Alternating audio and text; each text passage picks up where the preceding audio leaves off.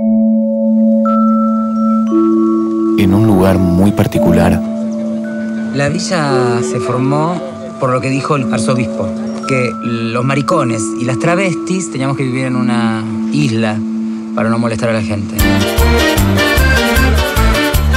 Y cartoneras. Y sí, para arrimar unos pesos. Cartonera de día, modista de tarde y algunas noches... mm, ella sale, trabaja juntando lo que otros tiran. Ellos son Julia y Manuel. Se han quedado solos. Su encuentro cambiará sus vidas. ¿Querés que te ayude?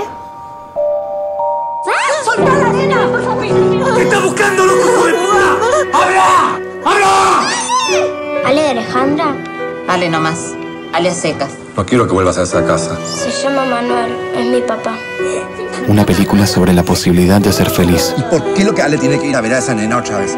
Va a terminar presa. Nosotras podemos vivir como el resto de la gente en una casa. Poder salir a la calle sin tener que hacer culpa tierra cada vez que pasa un patrullero.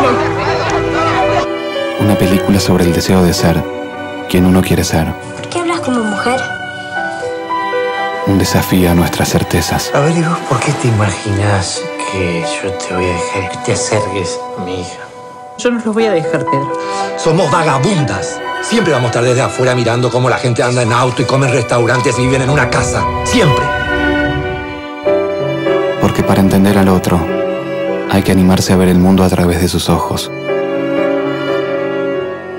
Rodrigo de la Serna, Camila Sosa Villada, Maite Lanata, Mía, estreno 10 de noviembre.